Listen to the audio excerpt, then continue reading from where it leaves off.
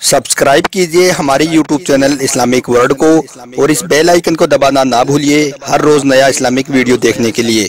शुक्रिया। दोस्तों, आज का हमारा यह वीडियो आपके लिए बहुत ही ज़्यादा अहम होने वाला है, क्योंकि दोस्तों, आज के इस वीडियो में हम आपको नाच गाना करने वालों का अंजाम बताने वाले हैं और आपको इस वीडियो में सऊदी अरब का एक ऐसा खौफनाक वाक़ बताने वाले हैं, जिसको सुनकर आपकी रूह काँप जाएगी और आपके रोंगटे खड़े हो जाएँगे।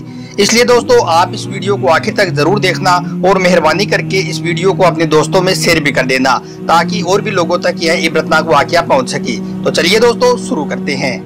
दोस्तों, नमाज़, रोजा और हज के बारे में तो हम सब लोग कुछ हद तक जानते हैं और हर दिन इनके बारे में देखते और सुनते भी रहते हैं।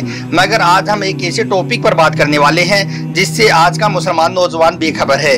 प्यारे दोस्तों, हम सबको ये पता है कि इस्लाम में नाच, गाना करना, म्यूज़िक पार्टी रखना हराम और कबीरा गुना है और यह काम जहन्नम में ले जाने वाला काम है। लेकिन फिर भी हम में से बहुत से लोग नाच गानों को बड़े शौक से करते हैं। दोस्तों, सऊदी अरब के ताइफ इलाके में एक घर था।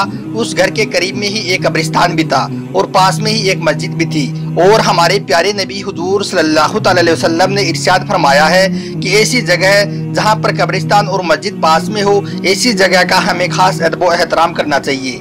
तो प्यारे दोस्तों, इस घर में रंगरेलिया मनाने वाला एक लड़का भी रहता था, जिसकी उम्र महज चौबीस या पच्चीस साल थी, जिसको नाच, गाना करना, डांस, पार्टी रखना तरह तरह की फ़ैशन करना उसका शौक था। इस लड़के की शादी हो रही थी। शादी का दिन भी तय हो गया था और शादी का दिन फ्राइडे यानी कि जुम्मे का दिन रखा गया था।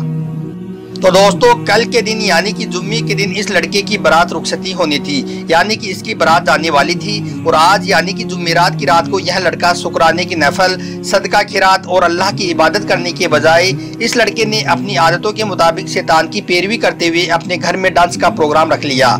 यानी कि घर में डीजे का प्रोग्राम रखा, लड़कियों को बुलाया गया और अपने घर में शादी के पहले दिन डांस का प्रोग्राम किया गया। यानी कि दोस्तों, इस घर में रात भर नाच गाने होते रहे। जिस घर के पास में मस्जिद भी थी और कब्रिस्तान भी था। मगर इस लड़के ने उनका भी यह एहतराम नहीं किया। और रात भर अपने घर में ऊँची आवाज़ में गानों को बजाता रहा और लड़कियों का अश्लील डांस देखने में और उछल कूद करने में ये मशगूल रहा। ऐसे घर में फिर अल्लाह का अजाब नहीं आएगा तो फिर क्या आएगा? यानी कि ऐसे घर में अल्लाह ताला का अजाब आना तय था। दोस्तों, उसके बाद इस लड़के ने रात भर ऐसा ही किया।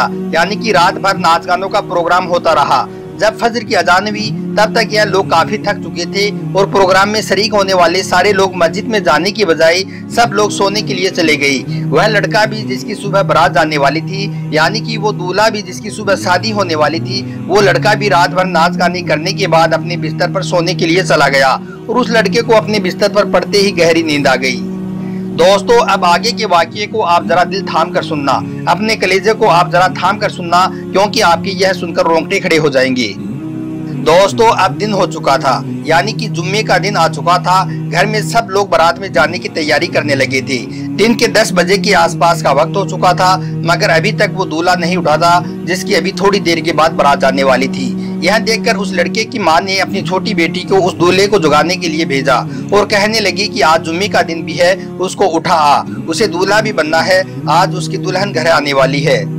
दोस्तों, उसके बाद उस लड़के की बहन अपने भाई को जगाने के लिए उसके कमरे में जाती है और अपने भाई को आवाज़ देने लगी, मगर उस लड़के की तरफ़ से इसका कोई भी जवाब नहीं आया। यह देखकर उसकी बहन कहने लगी, भैया, इतना भी क्या सो रही हो? आज तुम्हारी शादी भी है, जल्दी उठ जाओ। मगर फिर भी वह कुछ नहीं बोला। उसके बाद उस लड़की ने अपने भाई को हिला डुलाकर देखा तो उसकी चीखें निकल गई, क्योंकि दोस्तों वह दूल्हा हमेशा हमेशा के लिए सो गया था, यानी कि उस लड़की का इंतकाल हो चुका था। अल्लाह अकबर। दोस्तों, जिस घर में अभी सभी लोग खुशी खुशी बारात में जाने की तैयारियाँ कर रहे थे, उस घर में अब कोहराम मच चुका था। सब रोने और चीखने लगे थे। शादी का घर मातम में बदल गया था। जिस घर में अभी नाच गानों की आवाज़ें आ रही थी, वहाँ अब चीखने और चिल्लाने की आवाज़ें आने लगी थी। जिस घर में अभी अंशी गुज रही थी, वहाँ पर अब आंसुओं का सैलाब आ चुका था।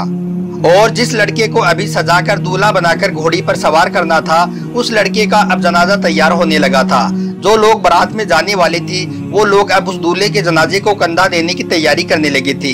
ये है अल्लाह की कुदरत और अल्लाह का आजाब तो दोस्तों, उसके बाद उस लड़के का जनाजा तैयार किया गया। लोग उसको कब्रिस्तान की तरफ़ लेकर चल पड़े। अब वह लड़का इस दुनिया की रोशनी से निकलकर कब्र के अंधेरे में जाने वाला था।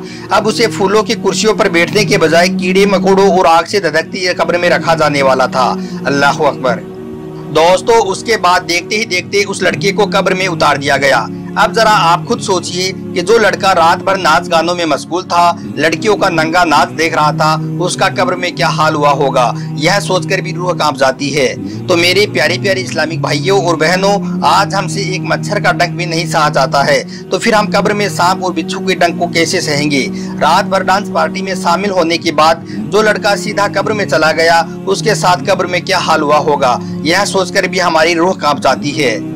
अल्लाह तबारक व से दुआ है कि अल्लाह ताला हम सबको मौत के वक्त कलमा नसीब करे और हम सबको नेक अमल करने की तोफीक दे।